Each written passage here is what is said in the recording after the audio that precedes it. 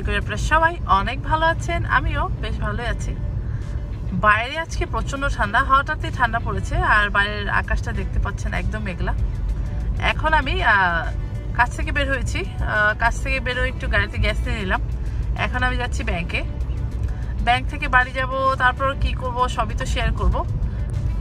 তো যেতে যেতে আমার একটা জিনিস খুব খেতে ইচ্ছে হলো, সেটা হচ্ছে স্যুপ। যেহেতু ঠান্ডা, আর ঠান্ডা দিলে তো স্যুপ খেতে খুবই মজা। আর যেহেতু আমি ডায়েট করছি কিটো ডায়েট তো আজকে ভাবছি আপনাদের সাথে একটা কিটো ডায়েটের একটা স্যুপ রেসিপি শেয়ার করব।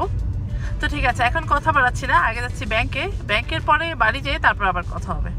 তো ঠিক আছে, চলেন। ব্যাংকে আসতে আসতে হঠাৎ মনে হলো আমার কোলস কার্ডের একটা পেমেন্ট দিতে হবে। তো ব্যাংকের কাজটা ঝটপট শেষ করে আমি আর জিজেল চলে গেলাম আমরা কোলসে আর যেহেতু এখন ক্রিসমাসের পরে কোলসে কিন্তু অনেক ভালো সেল দিয়েছে।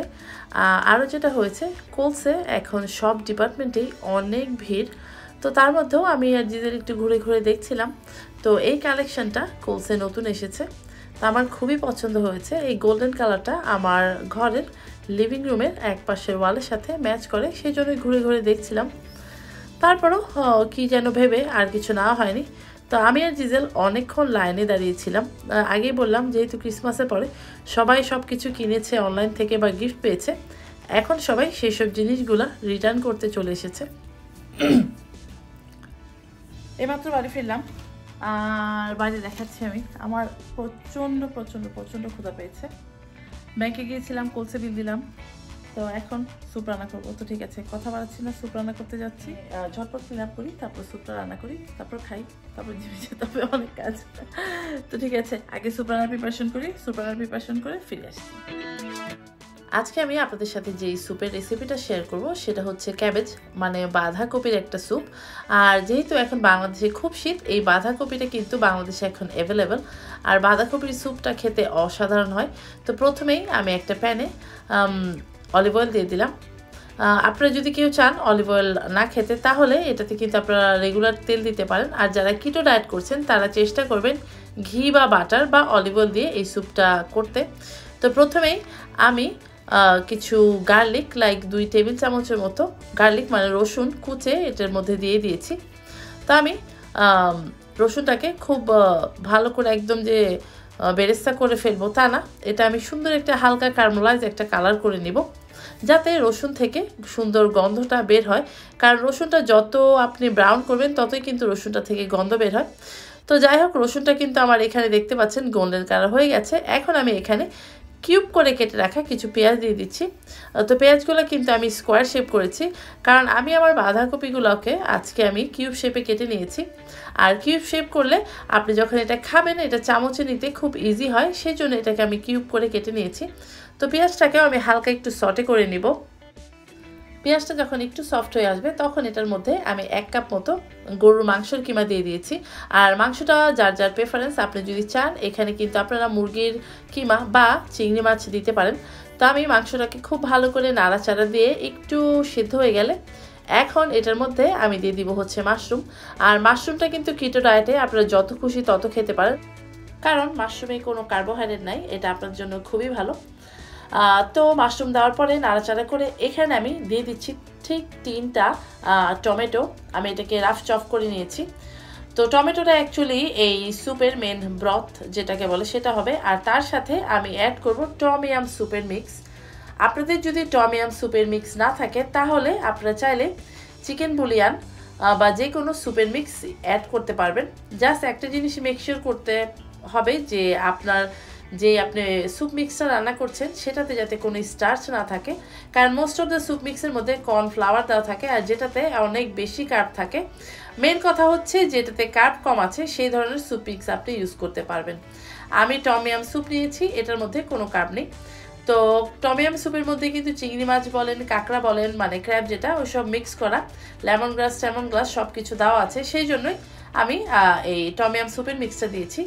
তো টমিয়াম স্যুপ টমেটো আর মাশরুম এই সবগুলো ইনগ্রিডিয়েন্টস আমি খুব ভালো করে নেড়ে চিড়ে এটাকে আমি ঢাকা দিয়ে রেখে দিব টিল টমেটোগুলা একটু সফট হয়ে আসবে।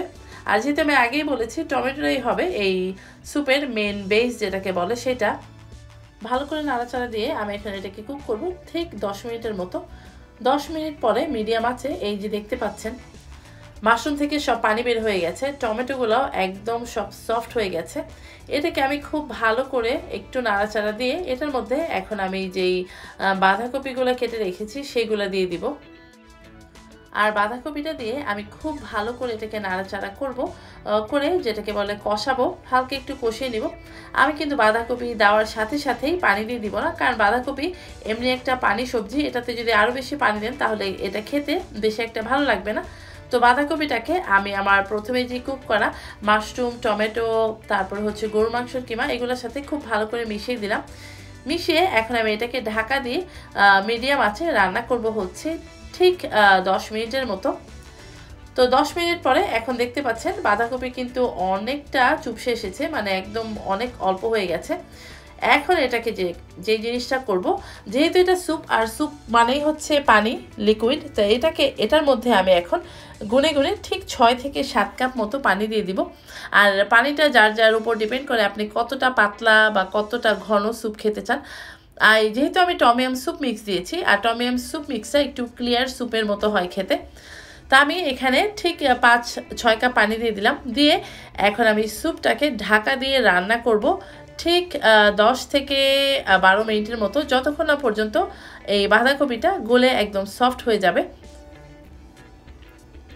ঠিক দশ মিনিট পরে আমার স্যুপ রেডি তো এখন আমি খাব হচ্ছে আমার গরম গরম ক্যাবেজ স্যুপ তো চলেন, আপনাদেরকে নিয়েই খাই। স্যুপ রান্না শেষ। এখন আমার হচ্ছে খাবার পালা, গরম গরম এক বোল ক্যাবেজ স্যুপ স্যুপটা কিন্তু আপনারা খেয়ে দেখবেন। যেহেতু আমি ডায়েট করছি, সেহেতু আমি এটা হচ্ছে আমার জন্য একদম পারফেক্ট একটা রেসিপি আর যারা ডায়েট না করছেন, তারাও এই ওয়েদারে এরকম একটা স্যুপ খেতেই পারেন, খুব মজা লাগে। তো স্যুপ রান্না করতে করতে একটা কথা যেটা মনে পড়ল আমরা সেদিন শপিং করেছিলাম জিজেল কিছু শপিং করেছিল টুকটা খুবই ছোট, অত বড় কিছু না। সেইগুলো আপনাদের সাথে শেয়ার করব। আরও একটা মজার জিনিস শেয়ার করব, যেটা হচ্ছে আমার এক আমেরিকান ফ্রেন্ড ওর নাম অ্যাশলি ও আমাকে ক্রিসমাসের সময় অ্যাকচুয়ালি ওর সাথে আমার আজকে দেখা হয়েছে। ও আমাকে কিছু মেকআপ আইটেম গিফট করেছে। মেকআপ আইটেমের চাইতে সবচেয়ে ইন্টারেস্টিং একটা জিনিস আমাকে গিফট করেছে। তো সেইটা কি? সেটা আমি আপনাদের সাথে খাওয়াটা শেষ করি শেয়ার করব জিমে যাওয়ার আগে। তো ঠিক আছে, এখন একটু শান্তি মতো মাথাটা ঠান্ডা করে খেয়ে নিই। খাওয়া দাওয়া শেষ, তারপরে ফিরে আসছি। কারণ একটা কথা আছে? পেট শান্ত মানে পেটটা ঠান্ডা, তো দুনিয়া ঠান্ডা। তো আগে পেটটাকে ঠান্ডা করি, তারপরে আসছি আমি।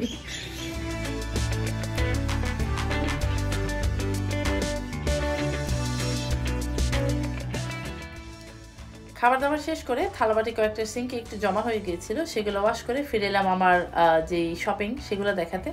তো জিজেল, এই ফুলের যে ব্যান্ডগুলো সেগুলো কিনেছে। এটা আপনি অ্যাকচুয়ালি খোপা করে চারপাশ দিয়ে দুই পাশে দুটো ক্লিপ আছে, এটা রাউন্ড করে লাগিয়ে দিতে হয়। আর দেখতে খুব সুন্দর লাগে। আমি যদি মানে যদি না, আমি যখন জিসেলের মাথায় এই ফুলগুলো লাগাবো, তখন অবশ্যই আপনাদের সাথে শেয়ার করব।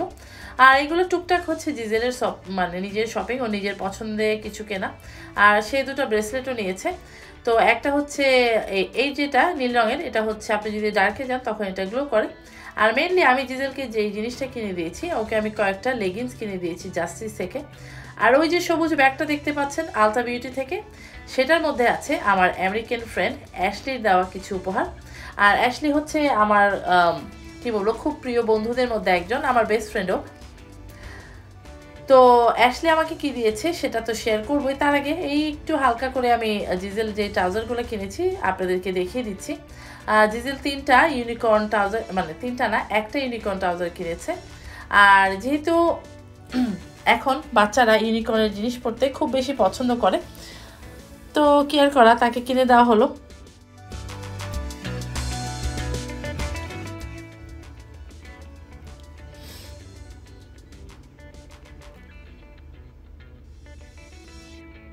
তো এই হচ্ছে জিজেলের শপিং এখন আমি খুলি হচ্ছে আমার ফ্রেন্ডের দেওয়া উপহার। তো আমার ফ্রেন্ড আমাকে মাঝে মাঝে অনেক উপহার দিয়ে থাকে, তো তার মধ্যে আজকে মেকআপ আর যেই জিনিসটা আমাকে আজকে ও গিফট করেছে, সেটা আমার কাছে খুবই আনকমন লেগেছে। আমি আগে কখনো এমন ধরনের জিনিস ইউজ করিনি। আমি এটার অ্যাড দেখেছি, তো আমি এটা কখনো ইউজ করিনি। তো আজকে আপনাদের সাথে আমি শেয়ার করব। আপনারা দেখবেন, দেখে আমাকে জানাবেন কে কে এই প্রোডাক্ট ইউজ করেছেন। তো ও আমাকে দুইটা হাইলাইটার দিয়েছে। সেদিন আমি খুব কমপ্লেন করছিলাম যে আমার যে হাইলাইটার সেটা খুব ভালো শাইন করে না। তো সেই জন্য ও আমাকে দুইটা হাইলাইটার গিফট করেছে। আরও যেটা গিফট করেছে সেটা হচ্ছে ও আমাকে অনেক মানে সুন্দর একটা মাস্কারা গিফট করেছে, একটা লিকুইড লিপস্টিক গিফট করেছে। তো আমি একে একে আপনাদের সাথে শেয়ার করছি।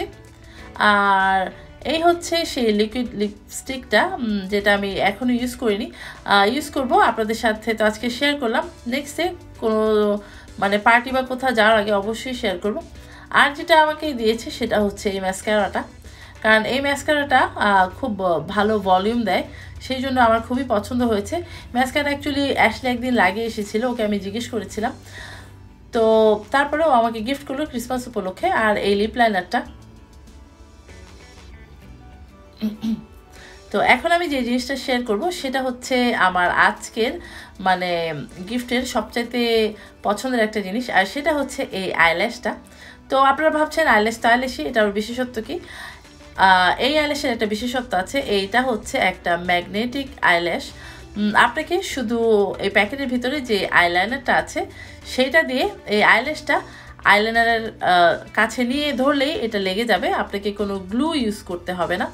তা আমার কাছে ব্যাপারটা তো অসাধারণ লেগেছে। আমি প্রথমে একটু ভয় ছিলাম, ভেবেছিলাম বাতাসে এটা উড়ে যাবে। পরে আমি অনলাইনে যে রিভিউ দেখলাম, এটা রিভিউ খুবই ভালো।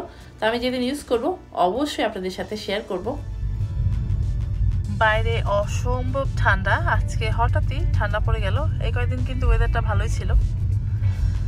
এখন চলে যাচ্ছি জিমে তো জিমে যাই। জিমে যেয়ে ওয়ার্কআউট করি। তারপরে ওয়ার্কআউট করে ফিরে আসি। ফিরে আসার পরে দেখা হবে। বাইরে খুবই ঠান্ডা, আর যখন ঠান্ডা থাকে তখন আমাকে খুব আলসেমিতে পায়। তো জিমে এসে আজকে শুধু একটু কার্ডিও করেছি, আমি একটু ট্রেডমিলে হাঁটছি। আর ট্রেডমিল আমার কখনোই পছন্দ না বোরিং লাগে। তারপরেও আজকে ট্রেডমিল করেছি। বাড়ি ফিরে এসে আমি এখন আরেকটা রান্না করব। এটা হচ্ছে খুবই ইজি বাট খুবই মজাদার। যারা ডায়েট করছেন তারা তো খেতে পারবেনই, যারা ডায়েট না করছেন তারা অনায়াসে ভাত দিয়ে এটা খেতে পারবেন। প্যানের মধ্যে আমি একটু অলিভ অয়েল নিয়ে নিয়েছি, তার মধ্যে আমি দিয়ে দিলাম একটু কালো জিরার ফোড়ন। আর এখানে কিছু কাঁচামরিচ ফালি করে দিয়েছি। তার মধ্যে আমি এক চা চামচের মতো রসুন দিয়ে দিলাম। তো সবগুলো রসুন, মরিচ, পেঁয়াজ আর কালো জিরাটাকে আমি খুব হালকাভাবে একটু ভেজে নিব। আমি কিন্তু ব্রাউন করে ফেলব না। আর এই রেসিপিটা শুধু শুধু খেতে খুবই মজা মানে একটু সুপি সুপি মনে হয়। আর যারা ভাত খাবেন, তারাও কিন্তু এটা অনায়াসে খেতে পারবেন। আমি চেষ্টা করি, আমি যে রেসিপিগুলো করি, যারা ডায়েট করছেন তারা তো একদম অনায়াসে খেতে পারবেনই। যারা ডায়েট করছেন না, তাদের কাছেও যাতে এটা খেতে বিস্বাদের মতো না লাগে, ওরকমই আমি রেসিপিগুলো করে থাকি। তো এটাও তাদের মধ্যে একটা। তো আপনারা তো সবাই বেগুন দিয়ে শাক দিয়ে খান, তো এই রেসিপিটা আপনারা খেয়ে দেখবেন, অসাধারণ লাগে। আর কালো জিরা তো খেতে খুবই ভালো, আর ঠান্ডার মধ্যে কালো জিরা খাওয়াটা কিন্তু ভালো। তা আমি আমার পেঁয়াজ, রসুন মরিচ আর হচ্ছে কালো জিরাটাকে একটু ভেজে নিচ্ছি। তার মধ্যে দিয়ে দিব অল্প একটু হলুদের গুঁড়ি, খুব ভালো করে নাড়াচাড়া করে এখানে আমি কিউব করে কিছু বেগুন কেটে নিয়েছি। তার মধ্যে হলুদ মাখিয়ে রেখেছিলাম অল্প কিছুক্ষণ যাতে বেগুনটা কালো হয়ে না যায়। তারপরে বেগুনটাকে ওয়াশ করে পানি ঝরিয়ে এখন আমি বেগুনটাকে খুব ভালো করে সটে করব। মেকশিওর পানিটা শুকিয়ে যায়। আমি কিন্তু এটাকে একদম মানে গলিয়ে ভত্তা করে ফেলব না। দেখতে পাচ্ছেন আমার বেগুনগুলো কিন্তু এখনও গোটা গোটা আছে বাট এটা কিন্তু ভেতর দিকে একদম কুক হয়ে গেছে। এখানে আমি দিয়ে দিব আমার পছন্দের পালং শাক। তো এখানে আমি লাইক অলমোস্ট চার কাপের মতো পালং শাক দিয়ে দিব। আর এই পালক শাক দিয়ে বেগুন দিয়ে আমরা অনেকেই খেয়ে থাকি। তো এটাকেই আজকে আমি আমার ডায়েটের ফর্মুলা অনুযায়ী রান্না করলাম।